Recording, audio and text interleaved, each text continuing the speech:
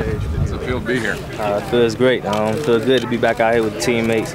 Um, you know, getting through our first walkthrough. Um, so today is our first practice in the afternoon. So it's our first step um, towards all our goals. Um, so we're looking forward to having a great practice. Are you 100% happy? Definitely is. Um, we had a great conversations with me and coach. Um, throughout the whole OTAs and um, the break we had. We're on the same page. Um, like I said, we both here to win. Um, this whole team is, and, and, we're ready to take that first step on today practice.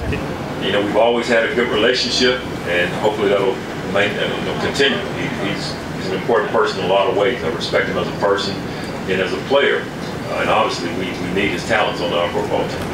There you go, Thank, Thank you, Bruce. Great, take your pen, Maddie. No, this is.